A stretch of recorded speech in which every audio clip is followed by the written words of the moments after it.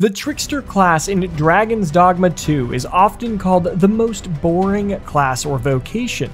But if you play it under level and with the correct comp, it's actually really fun and challenging. You can start battles between titans, you can earn 50,000 gold in a single hit, and you can buy enough time for your team to bring down the heavens on your enemies. But this class is not a hack and slash. You know, you have to be a little tricky, a little deceptive to make this work. In this video, I'm going to share everything I learned through my playthrough of playing the Trickster. I started off with only wizard classes, mage, sorcerer, and then trickster to see how that whole line progressed. And even after 100 hours, it was still incredibly fun. Feel free to jump along the timestamps below to find a chapter or topic that interests you most. Otherwise, I'm going to show you how to unlock this vocation, break down all the abilities, give you little tips and tricks on how to best use them. Then I'm going to give you my suggested setup and pawn allies to best use a composition around this class or vocation. And then I'm going to show you some really satisfying plays and how to do them. So let's jump into how to unlock this class. You can find the Trickster Maister in Bakbattahl at this shrine. Just by showing up, you'll be granted the Trickster vocation. You can access this pretty early actually in the game, taking an ox cart from Vernworth to the rest checkpoint town. Then I would suggest smuggling yourself via an ox cart through the gate, and then you'll have to fight your way through to here at this uh, shrine right here, and just speak to this uh, Arisen. She will give you the vocation. I would then also suggest going around the side, climbing up this ladder, and then you'll find her actual form in the front. And this will actually give you the master teaching, uh, the master uh, skill right there. So you'll be able to use that pretty much right off the bat. Then push to the city, buy a house. This will grant you a residence permit, which will allow you to go back and forth between the two countries. Change your vocation while you're here, and you are ready to experience a difficult class. Having to rely purely on deception and pawn AI can be a challenge early on before you're leveled up. So let's jump into the vocation, starting with the basic attack. So we're here with our Arisen. We have our three sorcerers. Yes, three sorcerers. I'll get more into why I set up my comp that way, but the basic attacks. All right, so when you when you swing your censer, that's weapon for the trickster, it creates a cloud. And this cloud really just attracts attention to your trickster. And, and, the main purpose of us is just to draw the attention of the enemy and let our pawns do all the other damage, but we can do it in some pretty cool ways. And early on, you're a very squishy unit. And, and once you die, your pawns are going to die. It's just going to end poorly for everyone. So learning how to, to draw their attention effectively is a key part. Um, the auto attack damage is incredibly low. You don't try to go hacking and slashing. You're not going to do much damage there. But depending on your, your weapon that's equipped, and specifically the Whimsical Daydream, you're going to get this from the Sphinx quest line if you need help go watch a guide. It's quite intensive. It's actually quite hard to, to solve too. But uh, if you do get the Whimsical Daydream, it's got a really cool sub feature. And I would suggest reading all the weapons, all the armor you have. They have little hidden features. And this one right there, it says in the last line, its bearer's coin purse swells with every strike. And so whenever you hit, you actually gain a little bit of gold. So this is what makes it kind of fun to use as a, a, side thing. Like if you if you're if you're free, you can just go and auto attack to get a little bit of gold. Every swing is 10, 100, or 1,000 gold. And then I think once per game, once per playthrough, you get a 50,000 coin strike, which is huge. It felt so cool. Like, what? That was a 50,000 strike? Or it's probably just a really low, rare uh, uh, strike rate. But either way, really cool when it hits. Nice little spike of dopamine. So definitely do that if you can. But that is the main purpose of your auto attacks. Now, your triangle isn't like a heavy attack or anything. It is a effigial incense. And now, this is the bread and butter of this class. You're going to summon a clone. And so its health is based on your magic. So the higher your magic, the more health you're going to have. The strength uh, applies to a, a amount that it's going to draw enemies to it. So the higher your strength, the more enemies are going to come towards your clone, and you want both high, obviously. But really, I've never had a problem attracting enemies to you. The only problem, only time you're ever going to run into an issue is with ogres. Uh, if you have a female in your party, they will uh, naturally just go for them instead of your clone or you. So make sure that uh, you're conscious when you're going against ogres. But basically, you're going to press triangle, you're going to summon it. You can press triangle again to snuff it out be careful. Like when I was first learning this class, I snuffed out so many times, and it does take a second to summon, and that is when you are most vulnerable. You're always going to want to have it summoned. And then what you do is as you're running around exploring, you can press R1 to summon it to you. And so you kind of just keep summoning it to you. but you have to beware if you don't summon it to you. You can also just hold R1 to, to keep it with you, but if you don't summon it to you, eventually you're going to get so far, it'll actually die, and you'll start to see its health will start to decrease once we get far enough away. Hopefully we get far enough away to trigger that effect. Uh, yeah, you can see it start to decline right there, but if you just R1 now it's to you. But it is low health, so typically if you're safe, you're, you know you're in a good spot, I snuff it out and then make a new one. And that's typically how you have that clone always ready to go because you're going to be making some plays. And if you play League of Legends, it's kind of like LeBlanc or Shaco. You're trying to use this to, to take the aggro for you and your pawns, and it is a, a really fun way to play. But so that's the main purpose there. And there's one other really cool trick with this once you uh, level your vocation up a little bit, and that is the enthralling aroma. So if you hold R1 and then you press triangle, it'll cast it out. Now this is a really short range, and uh, if you really like this, uh, you can have, there's another ability, which I'll get into in just a minute, where it goes further. But what this does is you cast it and it'll attach to whatever enemy you send it to that enemy will then be attacked by any enemies around it that see it and are, are, attracted to it. So you can actually use this to, this is your offensive way to play the game. And so you send it at the enemy and then you just watch the enemies just tear it apart. Uh, sometimes they just run away because they know they're being attacked. It's crazy. It's funny to watch. But you have to be aware, once you send this to that one unit, that unit's no longer being no longer attracted to the clone, so they're going to try and attack you. So you just have to dodge that single unit that's now free. So as long as you know how to bob and weave, you know, break break their legs, break their ankles, you're going to be good to go. But that's what you want to do to kind of make it through, and that that's the general kind of way that you're going to go into battles. So let's go and jump into a fight right here. I just told my pawns to wait so I can show you guys how it kind of works in here. So you're going to be in here. You definitely want to have your incense already summoned because they'll come on you. And then you just want to keep pulling it towards you. Keep the aggro on your clone. Make it dodge though so it's not taking any damage. You can kind of last forever just by playing and juking these guys out. And as long as you know generally when they're going to attack, when they're going to connect, you kind of pull it away and you're going to be safe to go. So they just keep missing. Easy day. Now, if you want to try and play the, the, the more uh, aggressive way, you can then summon your Shroud and send it out using that R1 and then triangle, and then watch them just start fighting their own guy. But remember, there is one that will be chasing you now. You just got to be able to kind of juke him, and you should be good to go. And I'm just picking up some items in mid-fight, so that's a little scary, but easy to go. But now we can call our, our uh, sorcerers in to finish the, the game. Uh, beware, your clone is getting damaged while it's there. You can see that its health starting to decay, but they killed their own guy, so that was nice and easy. Now let's see if our sorcerers can take care of the rest. And so you'll notice that sometimes they're attacking my my my units or my pawns. Now, that's not the desired outcome. So that's because my strength isn't high enough right now. So what we want to do is summon and collect them. And so that's where you use our, our suffocating shroud ability. And this one's a really good one in attracting them, and you'll be able to tell that they are attracted to you by their bar showing up. So that, that's how you know that they were attracted to you, and you'll be good to go there. So we can pull it here, make sure that we pull that guy in, and try to and when, when they cast something like that, you want to try and get the clone inside the cyclone so they get sucked up, and then they're dead. There's its body flying around, and it'll land somewhere, who knows where. But that's kind of the general way that you play it. And obviously, this was an easy enemy to, to kind of juke out and show this. But uh, harder enemies, or if you get like a lot of goblins, they're all over the place, uh, they can kill your clone pretty quick. One thing note, if you ever get attacked, if they ever hit you, it also takes away your clone. So you have to be perfect never getting hit throughout your entire playthrough. And that's what's really fun and satisfying is you're you never get touched. If you're really good at it, you just never get hit. Your clone always survives, and then you're good to go. So let's go and try and find a more difficult enemy to showcase this.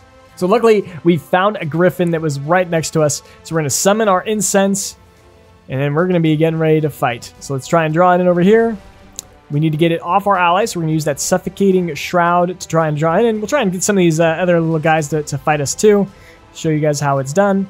But it's, it's, it's attacking my clone because it, it saw that it's attracted to that. I've also got one of the harpies on it. Easy day. Ooh, got knocked over. That's cool.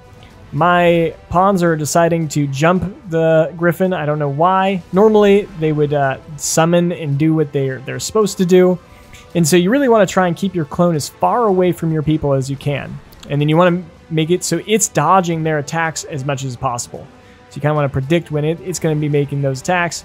You don't want to be standing too close to your clone or they might be hitting you. So it's kind of just bobbing and weaving, trying to attract them, get them off of your your pawns. But uh, here we go. They're casting Meteor now. He'll be dead very soon.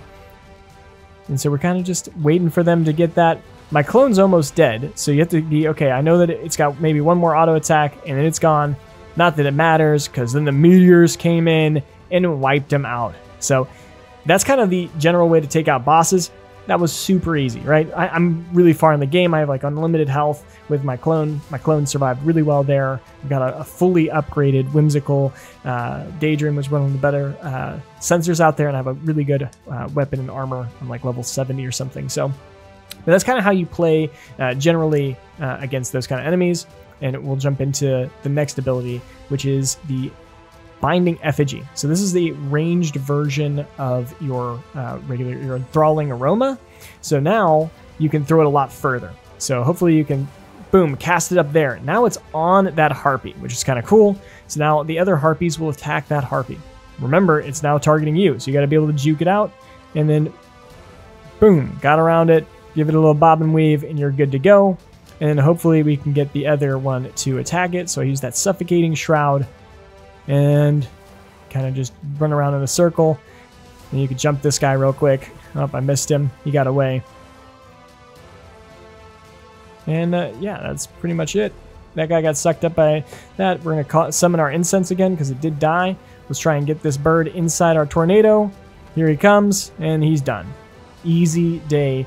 And that's kind of just how you, you play around with the, the uh, binding effigy. It has got a nice range. You can send it off uh, into ranged units like those um, harpies. And uh, yeah, pretty easy way to play there.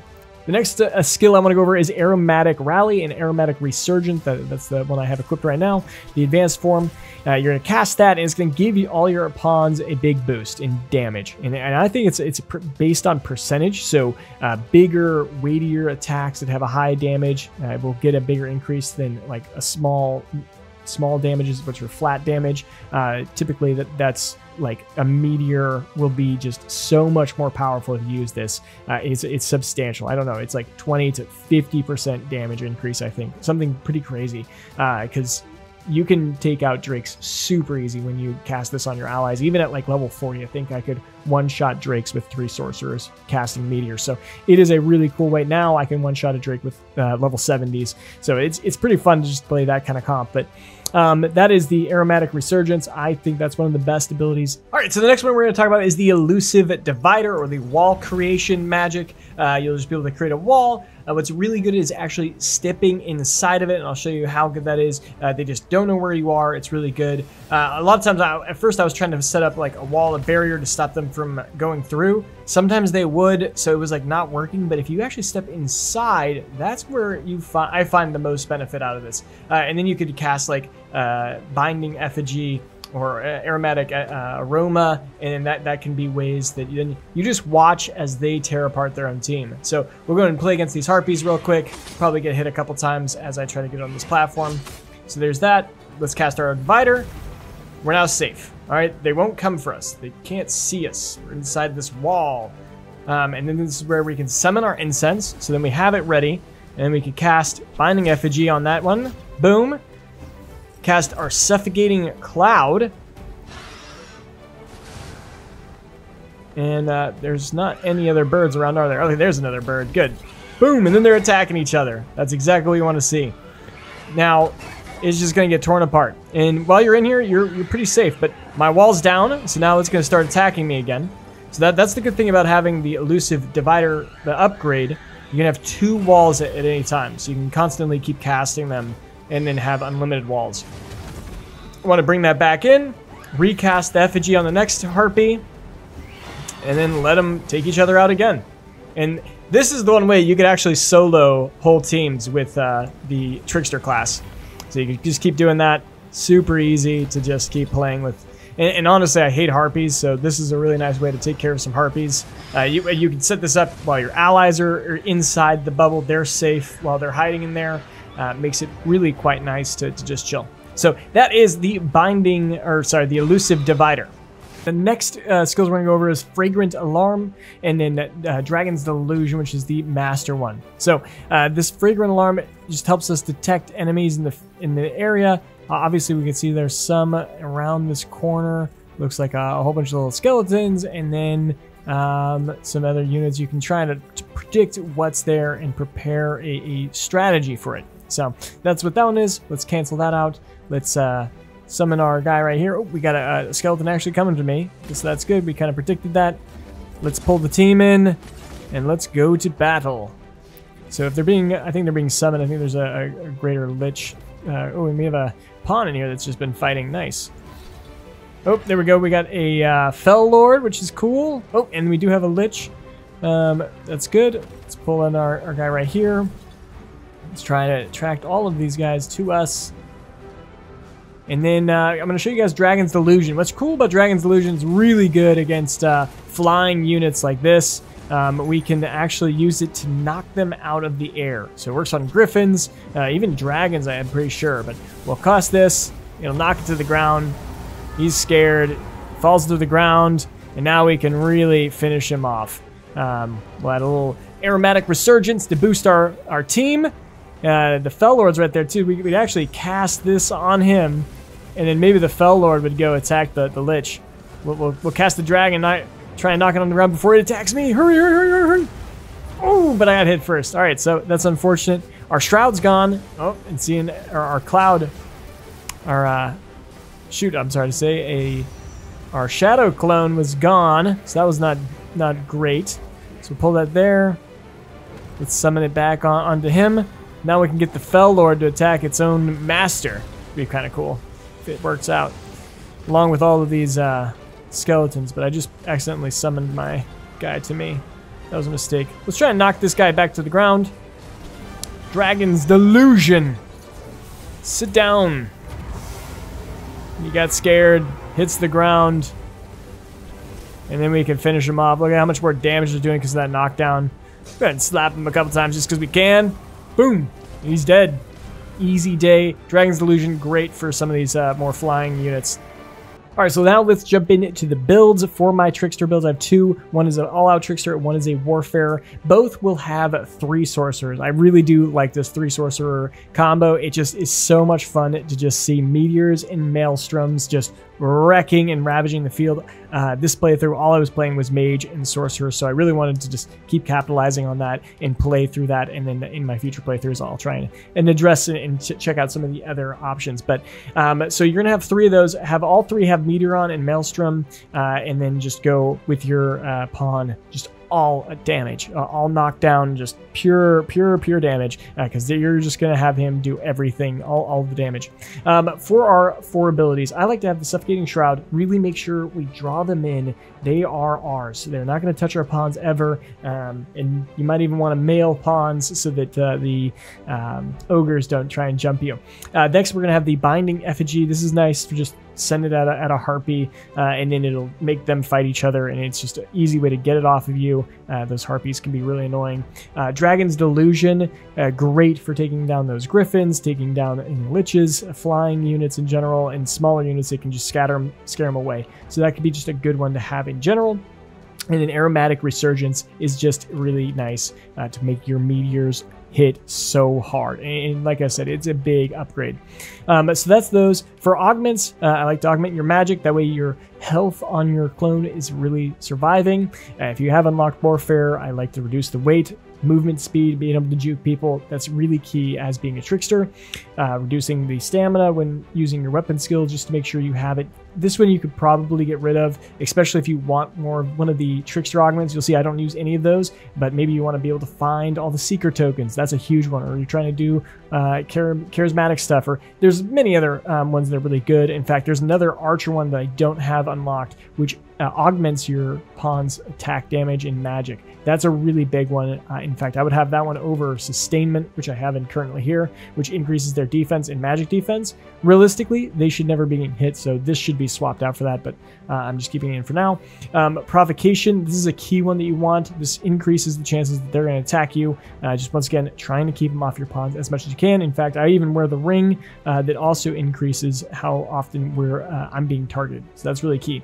And then we also have the exaltation, which augments your stamina recovery speed. You just want to have that constant uh, recovery. You always have stamina. That way you don't run out because if you run out and then you're trying to cast something ooh, you're you're gonna be taken out pretty quick. It's kind of scary. And for my second build is the Trickster Warfare build. Uh, really, there's no difference in the way you're gonna be playing. It's just adding a whole bunch of utility outside of fights. And so you're going to have to get the Warfare Vocation. If you don't have that or don't know how to do it, definitely check out a guide. But you'll be just going down to the Volcanic Isles. There's a gentleman near the baths. Uh, you give him some newt liquor. You should be able to get the Vocation. You will need to get his Master Teaching as well, which is rearmament. Um, and then that allows you to switch between all the weapons, and that's super key uh, and useful because uh, you didn't have any healing. You lost your mage. You were doing three sorcerer and a trickster. It's not there's no utility there, and so being able to switch to a mage staff so you can heal up your team is super super useful. So that's one of the key things you can do. And the second one is having daggers or some other melee item because the only counter to this build is the golem. All right, you cannot finish a golem. Often you'll just be sitting there trying to get that last medallion that stays hidden uh, unless he's cooling off. Oh, it's so hard. You have to perfectly time a meteor to hit that, and it's just unlikely that your team is going to land that. So it's really helpful just to be like, okay, I'm going to take care of this. Switch to daggers, climb on them, stab, stab, stab. Take that medallion out. You're good to go. And so that's really all. You, that's the only counter to this comp. Um, and then for your last skill, there's a whole bunch of different options. Um, but the one problem with a trickster is the second that you switch weapons, your clone starts to die, as if you were too far from it, like I mentioned earlier. So it's really key to just be able to switch back to your trickster. So you don't want to stay in a different vocation or a different weapon for very long. Um, it is uh, useful, like I said, to have that mage staff so you can levitate. Uh, I also think if you have mystic Archer already unlocked. You can have that recovery arrow uh, so that you can throw, yeet one of your pawns off a cliff, switch to it, revive them, and then jump down. It just makes exploration a lot better. But yeah, really all you need is that suffocating shroud and that aromatic resurgence, and you can do everything else. Uh, it's really quite easy just to buff your pawns and let them take care of it. And the, the loss of stats from going trickster to warfare are not even really important. The extra magic, uh, the health difference in your your uh, clone really isn't uh, significant enough to matter, and neither is the strength and, and, the attraction of your clone. And so that's the warfare one. It's just a lot nicer, a lot more utility to it. So let's start jumping into the different tactics you can implement. And the first one is about learning attack patterns. That, that's just key in this game in general, but you're able to use your clone just to like draw their aggro from certain positions, what, what side of the body they're on. So in this case, where we're attacking the dragon, I'm trying to learn how does it really function. So I can pull the clone to the back and I'm like, how do how does its tail swing work? First he looks back, then he whips his tail up in a circle and then hits the ground. So you know if you're in the back and you see that tail going up, you need to run. So that's just one example. You can just leave your clone around, not attack, and you learn so much. The next cool situation you can create with the Trickster class is just epic boss battles. Yeah, so here's one example where I got two golems to battle it out, and there's orcs all around just trying to, to give little hits here and there. Just so much fun. Attach, it's on his knee. We need to back up. Uh, I need to tell my pawns to come here and wait. So you can already see the orcs are starting to try and take out its leg. That's hilarious. Let's try and draw him this way a little bit. Ooh, something did some damage there. That's awesome. All right. Let's try and draw it this way a little bit. So you can see my clone's at half health. Doing well. Oh, this golem's loading up an attack. Boom! Lit up these little goblins. They're having a bad day. All right. My, my clone is dead, though, so I need to resummon it. So, pull it around a little bit. Put it on his leg now. Ooh, big hit. The golem, the, the orcs are actually chunking down the golems right here. Ooh, ooh, they're fighting. They're boxing. Let's go. Battle of the titans right here. Big right hammer. Ooh. Clip, he's frozen. He's stunned from that hit. With Dragon's Delusion, you can literally call down almost any flying creature, and that includes when you're riding a griffin, you can summon your little cloud dragon and you'll knock it to the ground, killing it. Uh, obviously, you're going to die too, uh, or have to use a wake stone, uh, or if you do it over water, you could still get that experience. So, one way to easily one shot a griffin, and if you have that whimsical daydream equipped, this is where you get to start playing a little micro game. If you're really good at keeping your clone alive and, and, and controlling the battle, you can just go around auto attacking and eventually you're gonna hit for 50,000 gold, and that just feels really good. And I mean, often you're only gonna get like 10 gold, let's be honest, but you'll get 100, you get a 1,000 every once in a while, and that adds up, like, especially over longer battles, and if you're really good at it, you will continue to make good money. But I've already mentioned my favorite thing about this, and that is just having a three sorcerer comp. We actually get to see those meteors, those whirlwinds flying around, and it's just really quite easy, honestly. Like like your your clone is so good at drawing aggro, and once you learn how to like keep pulling it and, and protecting it, it can be super easy to just even take on large mobs. But against single targets like this ogre who thinks he's a big boy, oh, it ends very poorly for them. Three sorcerers bringing it down the rain just absolutely annihilates him. And, and you know, it's just crazy because with this much, they leave nothing. There is literally nothing there. So if you're looking for monster material, this is not the way. And even late game monsters cannot handle three meteors for full, from full build sorcerers. Uh, this Dullahan, which is supposed to only be weak to um, uh, holy damage, it's going to see the damage. Now, I did have to give it a uh, the aromatic resurgence to give him a little extra boost, but this guy just gets deleted also. And, and I was kind of, this was actually the first time I ever fought him. And I was like, oh man, this guy looks scary. Uh, I have a friend that played Dark Arisen and, the old Dragon Dogmas. And they said to watch out for these guys. But uh, yeah, they weren't a problem. They were not a problem for me here. And that includes the final endgame bosses. Like this one here, I, I was fighting him. I, he was probably actually the hardest enemy I had the entire game uh, for this comp. Uh, they're using the whirlwinds right now, and they're way above at his head, so they weren't really clipping him too well, but they still took down like two bars right there. And then, you know, I switched to, to mage, or because I have that, and so hit it with some high frigors while it's down. But once these meteors come, it, it basically gets just deleted the rest of the way, and then it just takes a little bit more to finish this guy off. Uh, but really, this this combo is just really, really fun. Really easy. It just feels good to see powerful magic in a game.